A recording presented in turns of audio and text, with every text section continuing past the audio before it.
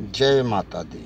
सभी मित्रों को, सभी भाइयों का, सभी भक्तगणों का स्वागत है। कल से यानी सात अक्टूबर 2021 श्राद्धी नवरात्र माता जी के नवरूपों का आगमन, शैल पुत्री प्रथम दिन से नवरात्र का शुरुआत, यानी सनातन धर्म, हिंदू धर्म, संस्कृति का नया साल प्रारंभ हो जाएगा। मित्रों, ये नया साल है।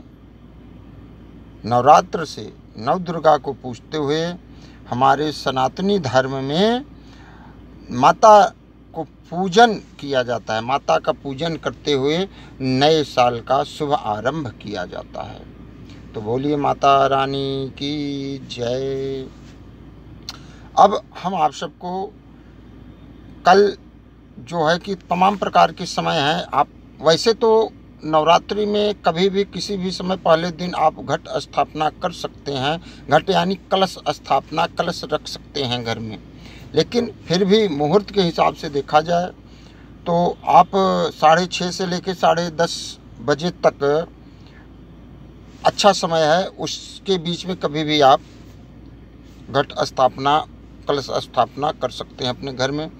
कलश स्थापना में सर्वोपरि में मैं आप सबको बता दूँ कि मिट्टी के कलश का व्यवधान है कि मिट्टी का जो कलश है वो रखा जाना चाहिए। इसके बाद उसके ऊपर एक दियला होता है ढकने के लिए।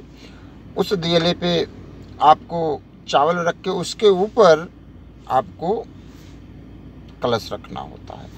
आम के पत्ते भी कलश में डाले जाते हैं। साथ में कलश में डालने वाली चीज़ें, सुपारी, लवंग, इलायची, इसके बाद इत्र। साथ साथ में थोड़ा सा चावल डाल दीजिएगा, पुष्प डाल दीजिएगा और हल्दी डाल दीजिएगा, सुपारी, खड़ी सुपारी एक डाल दीजिएगा, कुछ द्रव्य दक्षिणाएँ जो होती हैं, एक रुपये दस रुपये ग्यारह रुपये जो भी है सिक्का, उसमें डाल दीजिएगा।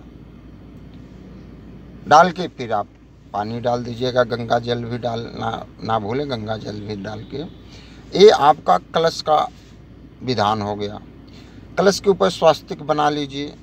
कलश के जो कंठ होता है, वहाँ पे आप रक्षा सूत्र जो होता है, वो आप बाँध दीजिएगा। मंत्र, गायत्री मंत्र या किसी भी मंत्र को आप बोलते हुए वो बाँध दीजिएगा। कलश के ऊपर स्वास्तिक का निशान होना ज़रूरी है। अब इसके बाद मिट्टी मिट्टी थोड़ी सी गीली कर लीजिएगा। उसमें जौ डाल लीजिएगा। मिट्टी बढ़िया से स्थान पे रख के, उस पर स्वास्तिक बना के और फिर उसी के ऊपर कलश रख दीजिएगा। अब इसके बाद आपको एक और बात बता रहा हूँ। कलश रखने के बाद कलश के चारों तरफ़ सत्ताईस फूलदार लवंग, जिसमें फूल हों, वो लवंग खोस दीजिएगा। सत्ताईस सत्ताईस इसलिए कह रहा हूँ कि हमारे ज्योतिष में सत्ताईस नक्षत्र हैं। सत्ताईस नक्षत्र जो हैं, वो सत्ताईस लवंग गाड़ेंगे तो सभी नक्षत्र नक्षत्र से आपका ग्रह का संबंध होता है, राशि का संबंध होता है। तो सत्ताईस नक्षत्र जान के उसमें सत्ताईस लवंग गाड़े, इससे बहुत बड़ा मनोकामनाएँ पूर्ण पूर्ण हो जाती हैं इस विधि से। और सत अनाज होता है, वो डाला जाता है घड़े में मिट्टी का जो कलश होता है, अगर आप डाल सकते हैं तो डाल दीजिएगा। नहीं भी डाल सकते हैं तो कोई बात नहीं, अगर डालते हैं तो एक एक अनाज, सात अनाज करके उसमें आप डाल दीजिएगा।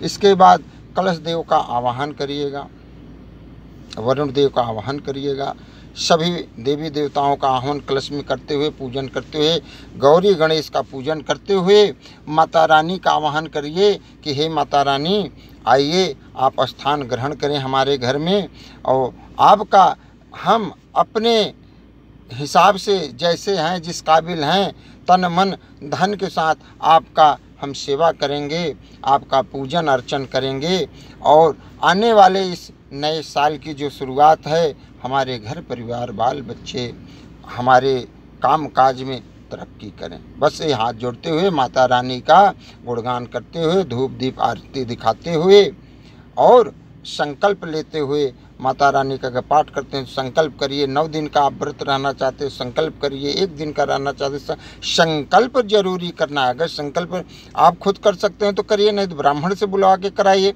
अगर आप खुद करते हैं तो संकल्प आप हिंदी में जिस भाषा में रहते हैं, जैसे रहते हैं अपना नाम, गोत्र, गाँव का नाम, स्थान, जो भी है, वो लेते हुए जो सा दिन है, किस कार्य के लिए आप कर रहे हैं, किसकी पूजन करना चाहते हैं, उनका नाम लेते हुए विष्णु विष्णु विष्णु बोलते हुए जल को ज़मीन पे अर्पित करते हुए हाथ जोड़ लीजिए। इसके बाद आप धूप, दीप, आरती, पूजन करते रहिए। नौ दिन तक माता रानी की सेवा करिए। देखिए, माता रानी सभी का कल्याण करेंगी। बोलिए जय माता दी।